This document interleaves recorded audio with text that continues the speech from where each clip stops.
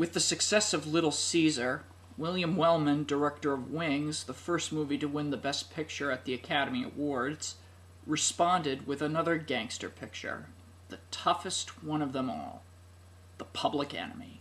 The Public Enemy, based on the book Blood and Beer, tells the story of a tough guy named Tom Powers, a violent gangster and a killer. Tom makes a living by bootlegging illegal booze during the Prohibition. Here, Garrett. Somebody's got to protect your customers. But what am I going to do? I can't help it if I have to buy from Schemer Burns. They tell me the same thing that you do. Ah, you're yellow. Oh, please, you ain't going to slug me, are you? Uh, maybe not today. But I'm telling you this for the last time. When Dutch comes around, he's going to leave you some beer. And you're going to take it. And you're going to kick him with the dough. If you don't, somebody's going to drop by here and kick your teeth out one at a time. Originally, James Cagney was to play the secondary part. Here, William Wellman explains. Got ready to shoot. Eddie Woods was the lead.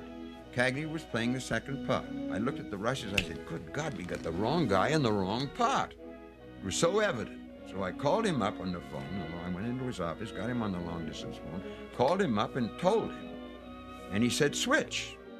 And that made one of the biggest stars we've ever had. And that was a wise decision on their part.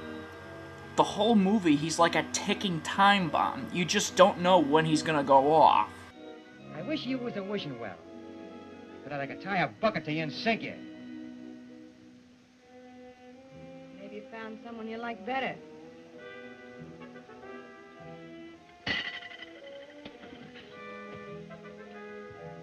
Interesting side note. You would think that those were squibs, but you're wrong. Those were real rounds fired from an off-camera Tommy gun, which must have been really uncomfortable for Cagney. Never occurred to me there's anything, anything dangerous about it. Stupid, but uh, it was dangerous. And I went on doing that for a long time with the wild bullets flying all, all directions. And uh, until finally one day I said, say, I'm not going to do this. But nevertheless, The Public Enemy was released in 1931 and was a success and made a star out of James Cagney. By the way, it's The Public Enemy, not to be confused with the great Michael Mann film Public Enemies.